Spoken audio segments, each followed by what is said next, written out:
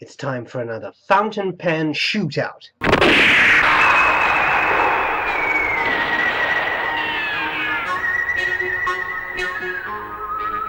And today we'll be having a look at three pens. Three pens that don't necessarily have a whole lot in common, but someone suggested in my review of the Conid bulk filler that it was too expensive and that the TWSBI VAC 700 was cheaper. He was correct, but I thought let's do a comparison between the Conid bulk filler, the TWSBI VAC 700, and the Visconti Opera Crystal. Why these three? Well, these two pens share a mechanism, a filling mechanism that's quite similar.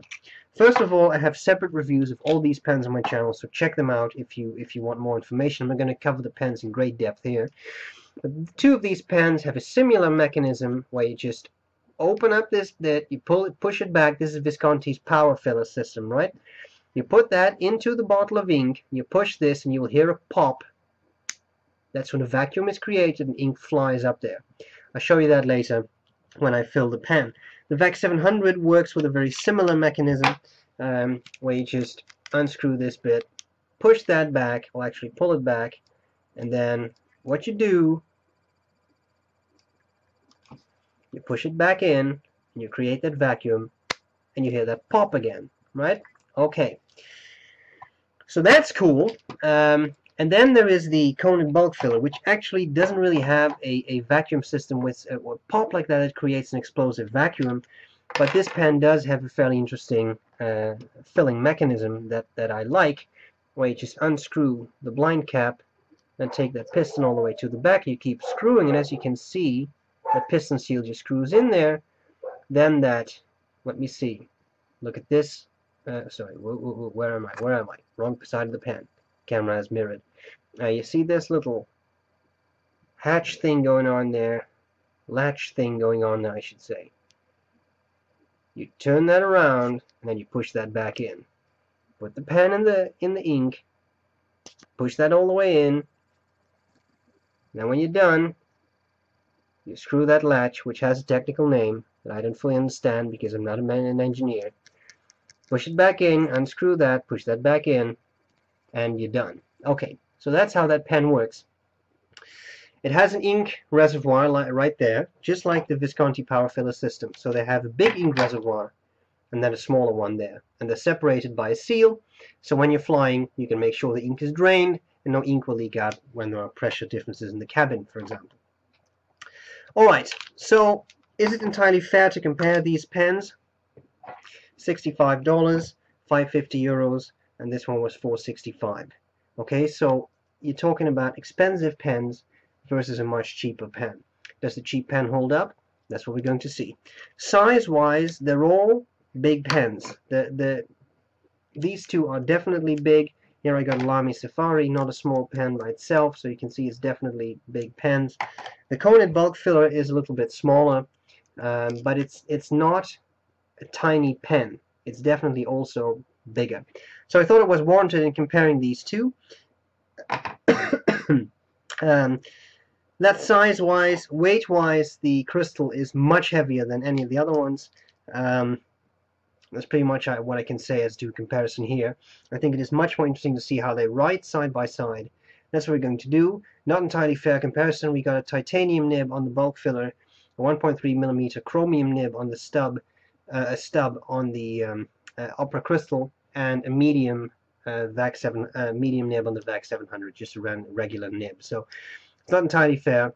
Nevertheless, I'm going to do a quick rundown of how to disassemble them, then I'll ink the pens up, and then I'll do a writing sample. I hope that comparison is going to be useful, and um, I'll see you later. Bye-bye. Okay, so here we got our three vacuum type based like thing pens. Let's start with the TWSBI VAC 700. Fairly easy to disassemble. I have disassembly line videos on these pens except for the Opera Crystal. Uh, so if you want to see them more detail, check them out. VAC 700, just unscrew the, the uh, section, then you can unscrew the whole nib unit. This metal ring slides off, rubber O-ring, I think it's two of them. Yes, two of them right there. Nib and feed can be pulled out if you want to for extensive cleaning. Uh, and we're ready to slide them back in. I believe there's a specific bit where the nib goes. Maybe I'm wrong though. Make sure they're pushed in all the way to the back. Slide that metal ring back in place. Screw the section back in place. Done.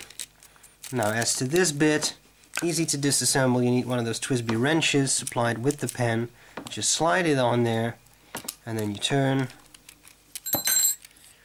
and then you can just pull out the whole thing. And this is what you can do. You can disassemble that bit but for that you need to make a special tool.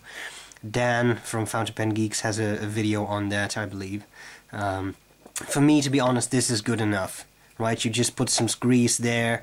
Uh, you may want to clean that rod a little bit and maybe put a little bit of grease on that occasionally. Um, and that's pretty much it. And then this is just a tube which you can flush out. That's just the ink reservoir. When you are done push that back in. Screw that back in place. Don't over tighten anything. It's plastic. It will crack. Um, screw the section back in place. Maybe add a little bit of silicone grease there. There is a little rubber o-ring just to make sure you got a good seal. Push that back in. Screw that back in. Cap the pan and you're done. Alright now the conid I'll, I'll do last. Um, the Opera Crystal is a pen that I have not been able to disassemble this power filler unit of I'm sure it's possible somehow. You see threads there, so it must be possible, but it's it's threaded in tightly. Uh, it's a precious pen. I don't want to fiddle around with it too much. Um, downside to that is that you will get some water in there. It's not really easy to uh, get rid of that. Um, although it is possible, one thing you can disassemble and that can really help in cleaning the pen quickly, I think is that you can unscrew the nib unit. Now, the little trick I'll show you, you can just separate the nib and the feed. Um, that should not be, be too much trouble. Then to reassemble them again, carefully align them, slide that back on there up to about that point, I would say. You can do a quick check. If you check them out from the top, you see the feed poking out clearly. You shoved it in there too far. Um, I think this is a a nice alignment for me.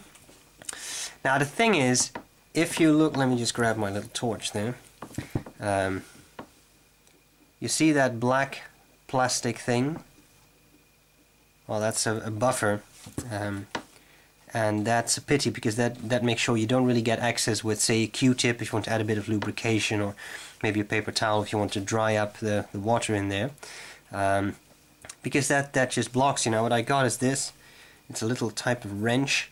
Um, I got that with this loop, which a viewer sent me, and it's actually my favorite loop. Um, you can use this to open up the battery compartment of that. You see, so this little key slash wrench, uh, I, I got that with the loop. Now it happens to be the case that, I'm not sure how you can see that, there are two grooves. You see one right there and one on the other side of that plastic thing. And this just happens to fit. I suppose a big flathead screwdriver could also fit but if I, if I push this in at just a slightly slanted angle I can just unscrew the nib collar you see? And that makes your life a whole lot easier because then you have unrestricted access all the way into the barrel which means that you see some water in there now. So what I can do is take a tissue roll it up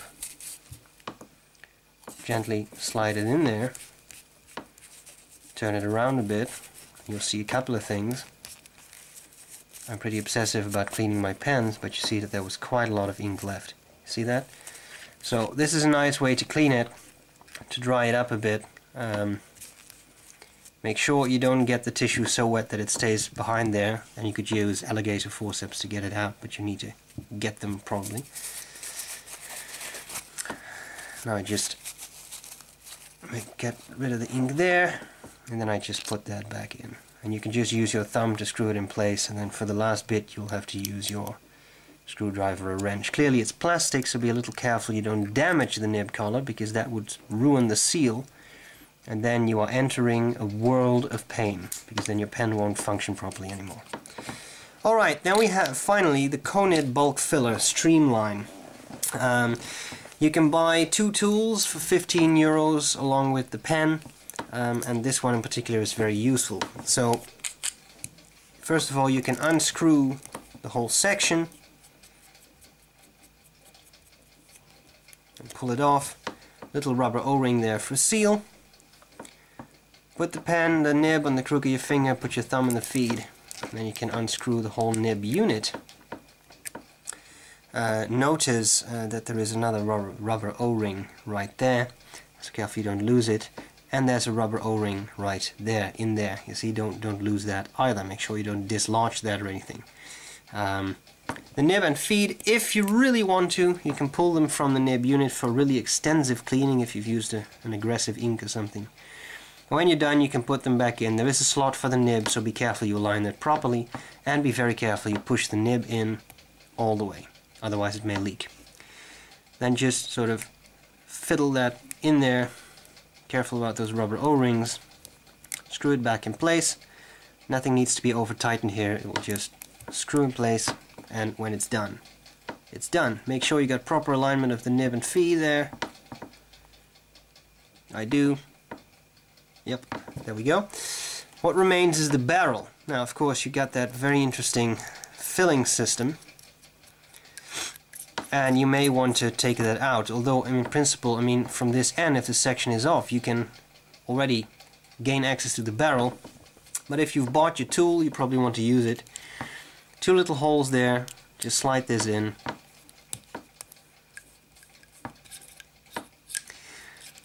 And I'll show you another trick later on. And you just pull this whole thing. You can use your little Allen wrench to lift up those rubber o-rings you can use a, one of those mini screwdrivers. There's a little um, uh, what do we call that nut there uh, an, an, Allen nut? I don't know what the English term is. This thing goes in there you unscrew it.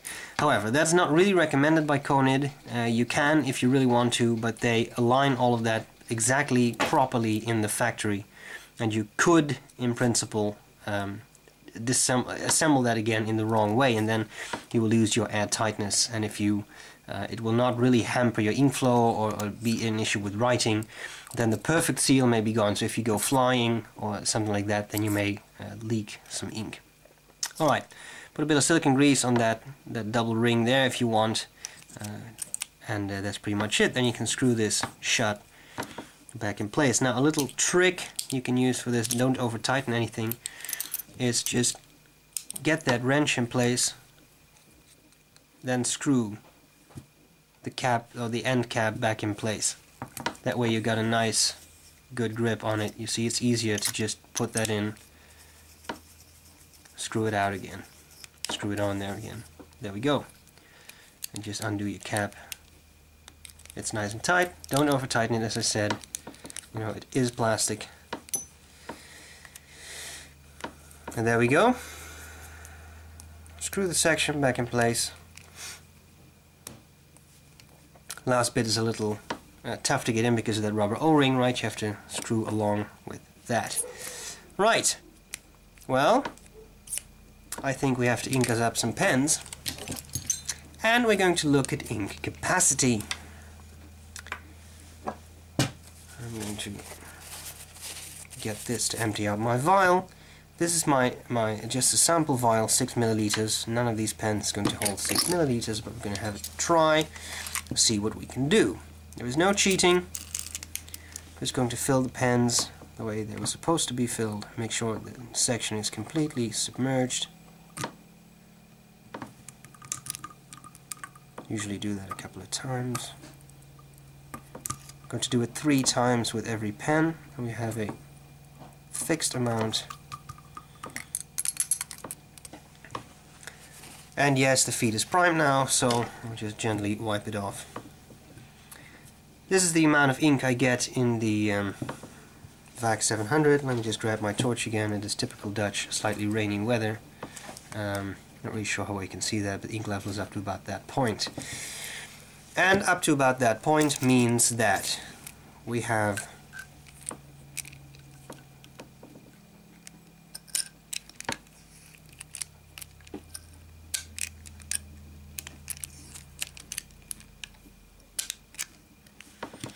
what I get here is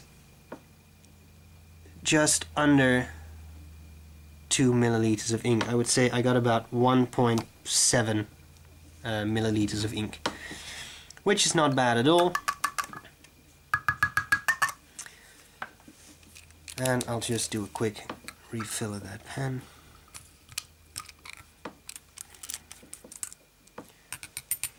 There we go. Opera Crystal. One thing I'm going to do first is take my sample vial and just roll a tissue around. No leftover inks, ink drops, just a little bit, but I mean, that will not make a difference.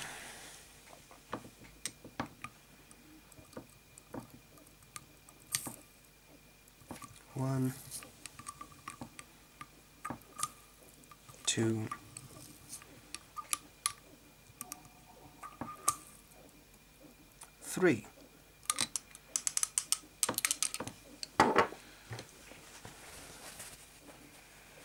Okay, so we had about 1.7, 1.8 for the VAC 700. Let's see what we got in the crystal power filler. I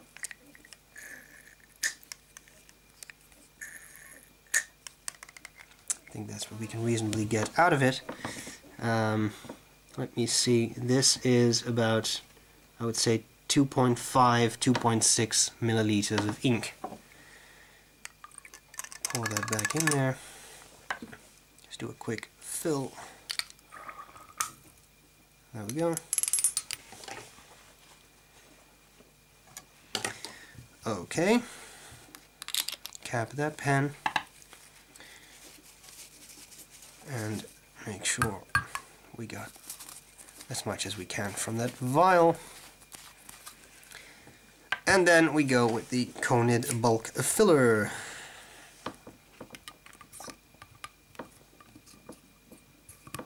One, two, three.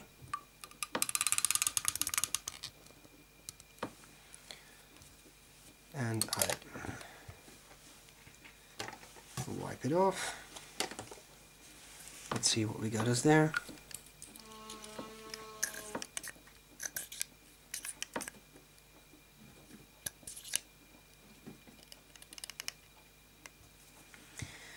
And what we have here is, let me see, that's just a little over 2 milliliters, I would say 2.1, 2.2 milliliters.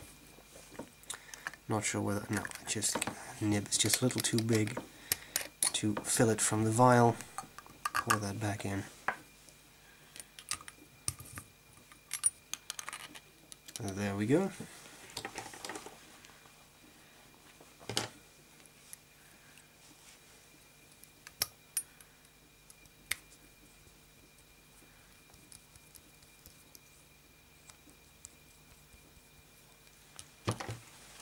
and there we go. Alright, pen's inked up, time for a writing sample. Okay, three-way vacuum type pen shoot out. Here we have the TWSBI VAC 700. The nib is medium and the quick brown fox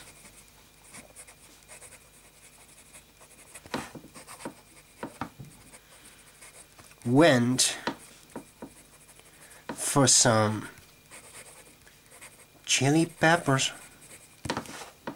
Because hey you can't have that freaking animal jump over another freaking animal all the time. I've had trouble with PETA and all that crap. This is that was not really true by the way. Visconti Opera Crystal the quick brown fox jumps over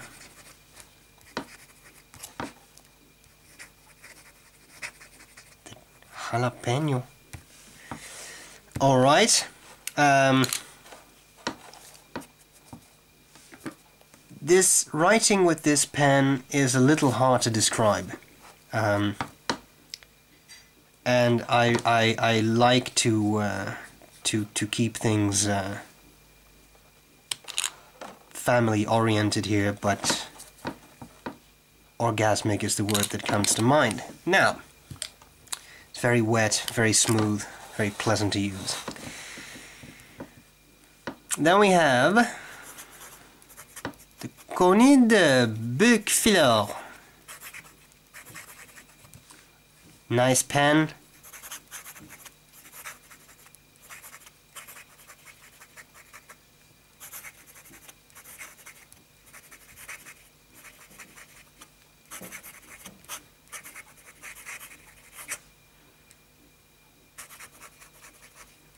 Bulky tacos.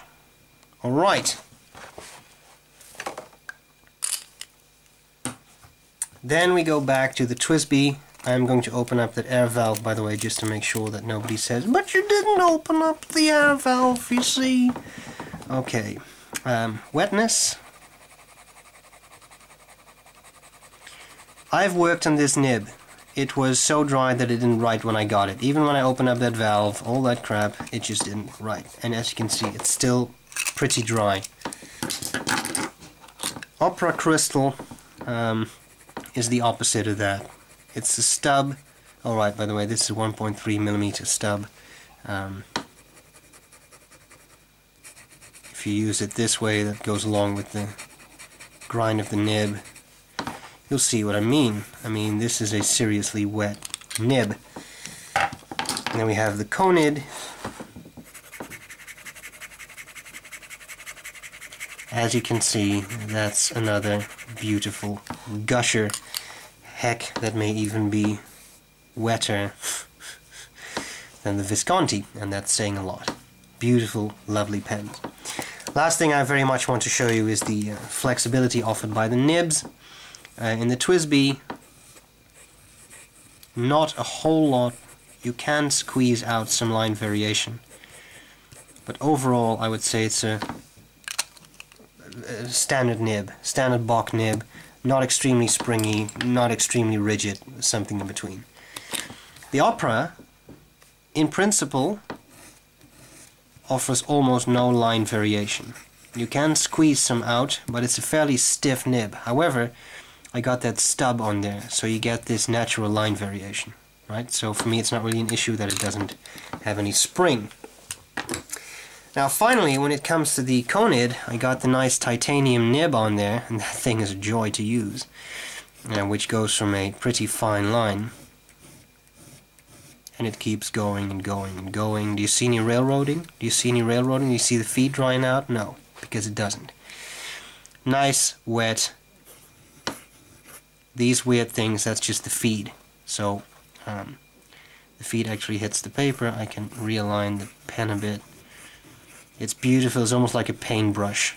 You get this really nice line variation and that's what a titanium nib does. Now be careful because you can actually spring a nib. The, the feedback you get from exerting some pressure to exerting too much pressure is almost absent. So at some point you may just spring it and the nib may end up like that. So be careful, don't overdo it. But you'll develop a feel for that if you use the pen a bit and you'll get this wonderful line variation. So, if I have to pick favorites, because I know you want to see a winner. VAC 700, definitely the cheapest. I mean, you can have a nice vacuumatic filled pen. It will write because now they have JoWo nibs. I think that improved the, the dryness significantly. At least that's my experience with the 580 and the Mini. Uh, so that's very good. Um, but of these three, it's not an entirely fair comparison. These two pens are much more expensive than the TWSBI. It's a decent pen, it's well made, it's robust, but of these three, it's definitely my least favorite. I love the Opera. You know I love Visconti pens, I'm, I'm honest about that, I, I love them. It's nice, it's big, it's heavy, it's well made, it feels very robust in the hand. But should I pick a daily writer, I'm gonna pick the bulk filler. And the reason for that is that just a little less heavy than this monster uh, Visconti. A bit more of a normal size. It's not a big difference uh, pen-wise, just the cap of the Visconti is a bit bigger. Um, writes well, writes smoothly, lovely bit of line variation because of the titanium nib that I got.